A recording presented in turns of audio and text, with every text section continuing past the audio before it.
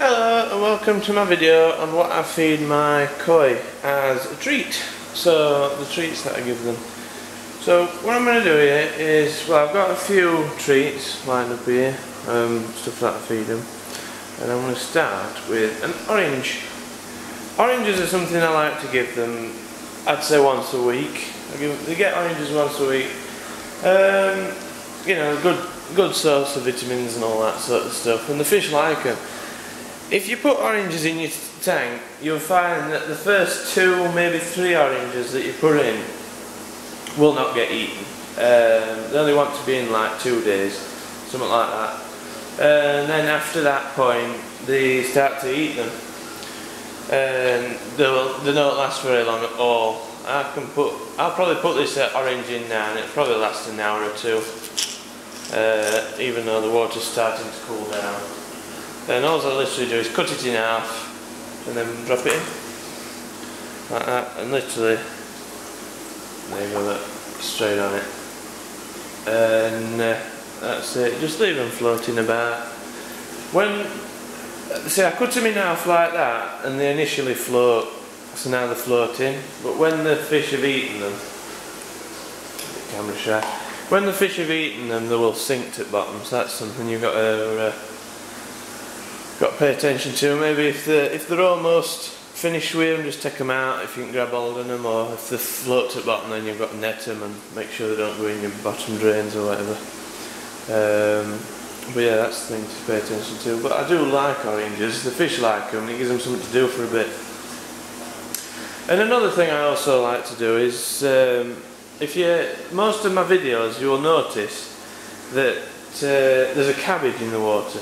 Funny enough today there isn't cabbage in the water, but I took it out yesterday. That's why it looks a bit minging. But the uh, that's what's remained of a cabbage that were in for about three days. So that cabbage were in three days. I mean, it really depends on the cabbage. Again, some cabbages they actually won't eat, and some they'll just go nuts on. It's just weird, but this one they uh, quite liked. I've seen them eat the entire thing. Um, if the water's really warm, you know, 20 odd degrees, at minute it's 17. Uh, but if the water's really warm, they'll eat the entire thing, even the stalk. They can pull it to bits, and that's, uh, you know, that's that. But I always, I always have a cabbage in because when they've eaten the main food, when when they've eaten the thing, you'll notice that they all want to go at bottom and they start grazing on bottom on the moss and algae around the pond and that's fine but they also do the same thing with the cabbage. So when they've eaten they'll start to graze on the cabbage which I quite like them doing. And uh, you know it keeps them occupied something for them to do. And occasionally occasionally you'll just see them attacking it randomly. And uh, I've seen them many times I've seen them jumping on it and you know trying to drag it under water and that. And it's it looks fun for them. So, you know, there we go. So the next thing I've got here is uh, large freshwater shrimp. These are one the things I've started feeding them. So they're all these are all dried sort of foods, but the uh, the large freshwater shrimp, I quite like these. They're all right. They're not they're not my favourite treat. They're not something they get often. I Again, probably once a week. Uh, but they like them, and uh, they're not too bad. There you go, coming up for it. Um, yeah, freshwater shrimp. It's quite a nice thing to give them. Something different. I like to keep. I like to keep mixing things up. So yeah, freshwater shrimp. They get like that once a week. Um, the next one is black soldier flies. So these are black soldier fly. I quite like black soldier fly quite a lot. They uh, they're a small thing they don't smell bad, they don't feel bad, you know what I mean, to touch. And uh, the fish really like them as well. I'll just chuck some more in. They're going to hate this video getting fed all sorts of stuff. But um, yeah, black soldier fly, they get that once a day, to be honest. They get, um, that, that's sort of my routine. I'll give them, I'll come in in the morning, the fish feeder feeds them. I'll come in the morning, then I'll give them the food that I feed them and then later on when they're asking for food again they'll get black soldier fly and then later on they'll get mealworm and then like round that cycle again. Fish, then fish feeder will feed them, and then yeah. So then we move on to mealworm, which is kind of a really popular uh, thing for koi. Now a lot of people don't seem to like mealworm. I've quite, I've talked to quite a few people that don't like mealworms. So you know they are hollow. You know they're not not much to them. It's just a casing really, but it's a dry, it's a dried food and that they're not. You know they're not swimming about not swimming about, they're not riddling about. Um, but that's not that's not what I want. I don't want things riddling about. I'm not going to feed them live ones. Um, not that it'll not that it'd hurt them. Probably it's just I don't know. I, I, I would go. I would never feed them live things due to uh, issues with bugs and diseases and all sorts of stuff like that. Uh, but there you go. So mealworms. They really like mealworms, and again, as with black soldier fly, mealworms are the once a day sort of food, and uh, they really like them. As you can see, coming up. And then again, as, as well, different koi prefer different things. So some koi prefer shrimp, some koi prefer mealworms, and some koi prefer black fly. Uh, most koi seem to prefer, most koi seem to like the mealworms and black fly, and that's why they get that once a day. Um, I have actually fed them mealworms that were for bird food before, and they just didn't touch them at all. So I don't know what that were about, but these ones are for koi, and they're slightly greasy, and uh, which I imagine adds to their appeal, uh, makes them smell nice and that, so I want them. And then again here we've got some uh, freshwater shrimp, uh, but smaller stuff. So this is like it's almost like a dust really, shrimp. They're little uh, little things. But again, this is a once a week thing as with other shrimp, and it's quite a good food. Oops, scared of it, some stretched in so hard, but there you go. They like it. heating it up. And uh, yeah, I like to feed them that. I like to feed them smaller foods, and they quite like it. And also this one, this one's a good food for my smaller fish. So if I go over to my quarantine tank, there you get this quite regular. They're a bit shy, there's only four fish in this tank. But uh, there we go. I'm not gonna wait for them to come up. But yeah, they get that. They get that more than once a week because it's a smaller food and more appropriate for them. But they also get they also get soldier flies and mealworms. So here we are with the final bucket that I've got. This is Daphnia. Uh, Daphnia is not something I really feed to my bigger koi very often. Um, in fact, I'd say I don't really feed it to my bigger koi, to be honest. Uh, it's too small. I mean, you put a bit in like that and you just uh, see it spreading across the surface. And uh, they're interested in it slightly. Not not as interested in the uh, with other things, but they'll, they'll pick at it. Uh, it's mainly for smaller koi. Um, frying that, it's quite handy for. I know a lot of people that do feed it to the fish, but mine don't seem to be that interested in it. Uh, probably because I give them so many other treats. Uh, but yeah, that's Daphnia. Um, that, that's dried Daphnia. So this is another thing I like to feed them as well. Uh, they probably get this once a day, and it is Cheerios. Just regular cereal. Um, you can eat it, you know, it's get it from any shop. It's just uh, cereal. Any little Cheerios. I frequently give an handful to the fish and then I'll eat an handful in it. I think that's the reason why I buy it really, but there we go. Um, the fish really like it, as you can see. Don't quite know how healthy it is from, it's just a different, it's changed. They're all the honey, honey coated Cheerios. Um, I guess it gives them, it just gives them something else to do what else to try. There they are, attack, attacking that orange that I put in. Really good.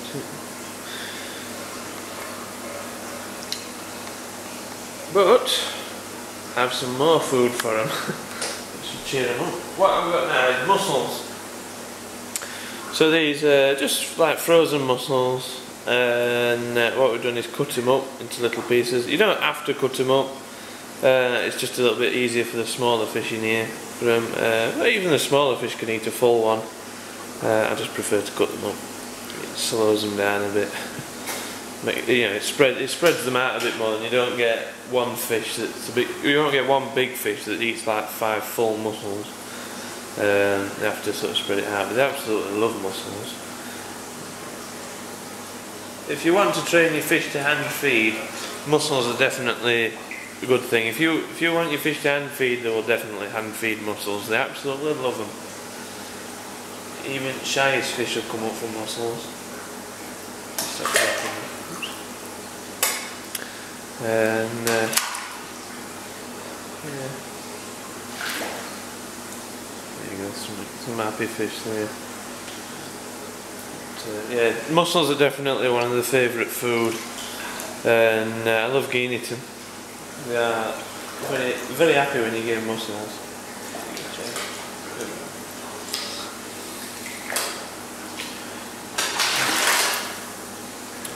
Usually just put the whole dish in.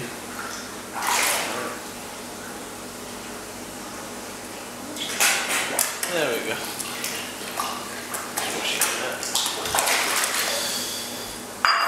There you go, mussels sink as well, so they start making their way to the bottom.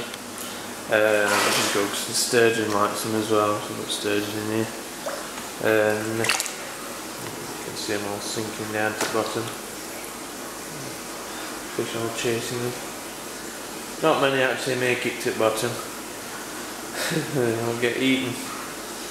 But some do. Uh, yeah. So that's mussels. Uh, you know, I think mussels is definitely one of the most um, popular foods for the fish that uh, I feed them. I think they also like, uh, I can see the sturgeon down there. Uh, they also like um, prawns, but I don't feed prawns very often. I usually get prawns around Christmas when I get prawns. Um, but uh, mussels are quite cheap and easy to get on, so they get a lot of mussels. Yeah, they get they get fed mussels like once a week, something like that. Maybe once, maybe once a fortnight. Um, but yeah, it's definitely. Uh, a treat that they all appreciate. So it's night time now, it's end of day, and as you can see right there, next to the bottom drain, the fish move, the, um, yeah just there, that, that's one of the oranges, well half of the orange that I put in today, and here's the other half, so you can see they've hollowed it out, and, that. They have started nibbling at the skin if you look, so took chunks out of the skin, and uh, with a bit, bit more time they'll wear more of it away. I've never seen them eat this bit. That usually ends up getting, going down bottom drains if they eat that much. And then uh, I have to take it out at, at uh, drum filter. But yeah, so that's what you get left when you give them an orange. And this sinks, which is quite irritating, but you know, just net it. I'll just have to net it out now. Right, so I'm just going to net that orange on bottom. Not really be able to see it, but there we go.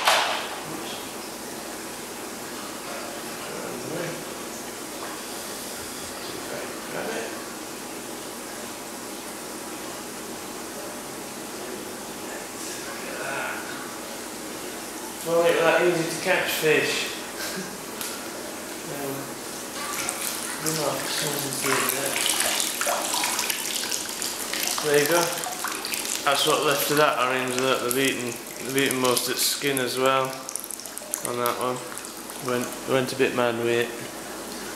So uh, yeah, just get that left. So yeah, they enjoyed the oranges. So here we are with the cabbage. Uh, one of the things I like to have in all times, you can see, it's just uh, British Savoy cabbage. And uh, they're the ones that I get for him. Don't really do out with it, just chuck it in really. Um, you can wash it if you want, uh, but whatever, it doesn't really matter. And just push them in, chuck them in, and they'll pick at it slowly. Uh, it's, it's daylight, so I'll come back tonight and show you um, how much a peck at it. But uh, yeah, there you go, cabbage. So here we are with the last treat that I give them and it is pearl barley. So this is like pearl barley from like Morrison's and that.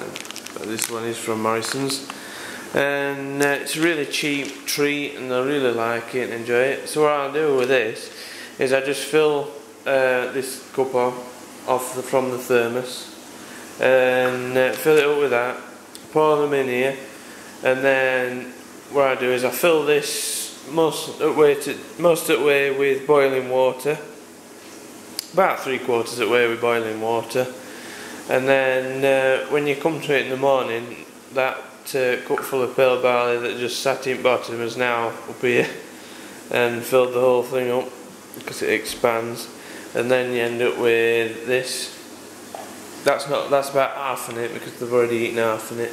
I give them half in the morning and half in the afternoon. And uh, that's what you end up with. So I just leave that overnight to uh, soak and then once in the morning I'll just pour them all into that and then let the uh, water drain out, out drain and once it's drained out I eat fish. Uh, this is a sinking food, it sinks. And uh, which is uh, good for fish because it stops them from splashing me and uh, it's also, the sturgeon really likes it as well. All, all fish seem to like it. It's one of the cheapest foods that you can buy for fish and they'll really thank you for buying it because they love it. And uh, there you go, you can see them all at the bottom. As with, as with any food though, you get some fish that uh, do prefer different types of food and that to pearl barley because it is a cheaper food. But so, most of, most fish love pearl barley. As you can see they're all down there now on bottom. Eating it away. You got sturgeon there, right? So, good shot at sturgeon for a change.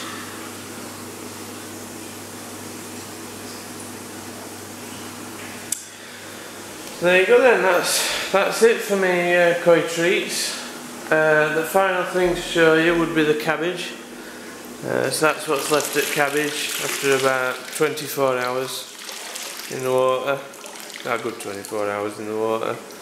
Um, yeah, pretty much eaten most of all, all this easy to get stuff's all gone. And uh, now it's just left the uh, stronger stuff. But they'll still eat it. They'll eat it till it's just a stump, and I'll probably leave it in for another day and uh, and take it out because you don't want. You don't want to be in there too long; it'll just go horrible. But uh, there you go. Any comments or questions? Drop them below. Thanks for watching my video, and I'll see you in the next one.